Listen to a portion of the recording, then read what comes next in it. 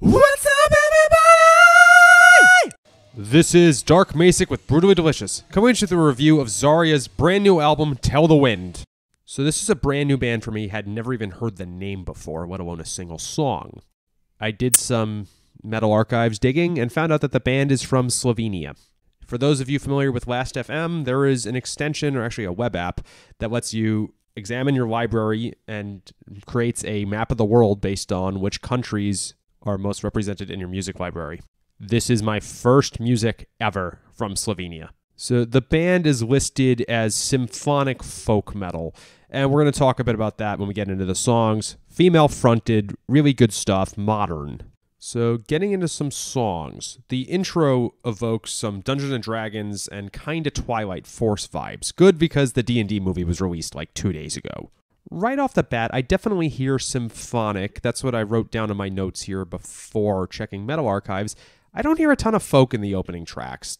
We get to the first highlight track, Evermore. Here's a really good double bass track, nice, driving, energetic we start to see some folk elements here. I think I hear a violin somewhere in there. That's definitely not popping up in your typical Nightwish album, for instance. Point being, the folk label is applicable, it's not straight symphonic. Moving on, we get to our first unpronounceable song title. I'm so sorry to anybody who listens to this and is native to whatever language this is. I'm going to try. Prek Meglik Preteklosti. This title is probably the most folk thing on the album. We start to get some flutes here, or some kind of wind instrument. I don't know, a fife or something. Great song, though. I don't know what language this is. It's Slovenian, even a language. Thanks to Wikipedia, I now know that it is. Moving on. Dream of a Frozen Dragon.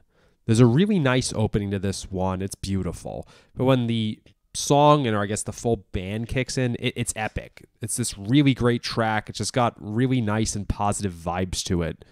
I'm tempted to start using the label D&D metal. It's hard to take that away from Rhapsody and Twilight Force, but maybe this is just more of what you'd play when they're in a tavern instead of in a battle. Moving on, we now come to what is, I think, the most memorable song on the album. I had to reference the track list to get this order correct track 9 called To Stealing, Cheating, Fighting, and Drinking. This is a really good pub song. Like, Cruachan would be so proud. Give this a few years and a lyric video, and I bet this could be up there with, like, Some Say the Devil is Dead. I'm aware that that's some kind of traditional Irish song, but on 70,000 Tons of Metal, when Cruachan played it 2020, everyone was fucking dancing, and it like I'm totally going to go back and listen to this at least five times in the upcoming week. Last but not least, the title track, Tell the Wind.